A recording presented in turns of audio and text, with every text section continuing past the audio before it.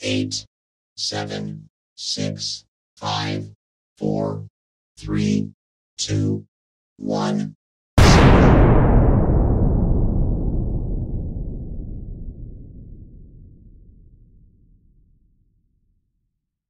Hi, my lovely people. Baby, we gonna talk about it. Let the disclaimer run. Section 107 fair use allows us to talk about it. It is our amendment right. Baby, it's for reaction purposes, educational purposes, entertainment purposes, whatever we want it to be. But just keep in mind, don't go out of your way disliking anybody we talk about in this video. And it's my opinion and my opinion only. Let's kick it.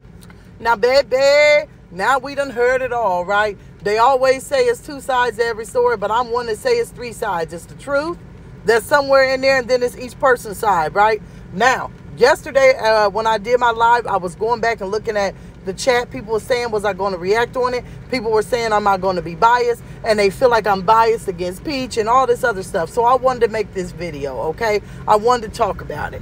Now, let me just tell you, I'm going to tell you who I believe in the situation. I believe Miss Tracy.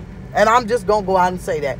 No, it's not because she Peach mom. No, it's not because oh, I just want to do this and I want it because Peach don't like her mom and all. No, I don't try to get into family drama. Like I said, I respect people's mother because I respect my mother, even though we've been through things. And that's just how it's always going to be. All right. But I have said and I have listened, okay? When you listen to stuff, sometimes things just don't add up. And I was saying this in my life. Number one, number one, after listening to these girls' story, they don't know the story themselves. They had this long drawn out one part, two part, three part, four part, five part, all of this on TikTok, right? And I'm watching it, and then as I go to part two, the story changed from part one. As I get to part four, it's all done changed. Both of the women, when they very first started, said, I don't know Peach. Then the little uh, one with the poof balls, she says, Oh, well, I've heard of her. I've heard of her on TikTok. Um, I heard her song. Oh, well, I don't know her. Then by part three, oh, yeah, I guess I have heard her song. The other one starts to say, the light skin one. I guess I do know her. Oh, yeah, I am from Tampa. Oh, I'm from around here. Yeah, well, who don't know about Peach? I mean, then their story did not add up at all that they were talking about. So, therefore, when I saw Miss Tracy get on live and she was crying, she felt regret, she felt sorrow, and she felt like, wow, why did this happen? You could tell the shock in her face. You could tell the shock in her voice. You can tell the shock in her reaction. She felt bad for what she had to do, but she had to defend herself. So either way it goes, whoever threw the first blow, whoever threw the last blow, Miss Tracy won the fight, and it is what it is. Also, since then, Miss Tracy has been going live and she has talked about it. So now it's not just one live, it's not just two live. She's talked about it in three or four lives, and the story has stayed the same. Also, like I said in the live, I watched the video. She told us, Miss Tracy said, I sit next to these two same white women every night. Well, you see them in there. They tried to break up the fight. They were telling her to stop. They were telling her to calm down. So once again, that adds up to her story. Also, I watched the video. Don't know how it started. You could tell, like I said, that there was a tussle that started before the recording started because when Miss Tracy walked up, her hair wrap was knocked off, right? Once the walk up happens, oh, it's on. Somebody done already put their hands on it. Miss Tracy keeps on going, grabs the girl up by the hair, and then, okay, the other girl with the poof balls, the skinny one, she slaps the husband and is pushing the husband. So Miss Tracy runs up on her, tackles her, and lets her know you're not gonna put your hands on my husband. Like I said, in the heat of the moment, things happen. Once you start already putting your hands on somebody, you're not gonna stop just because, oh well, they recording or whatever the case may be. These two girls, right?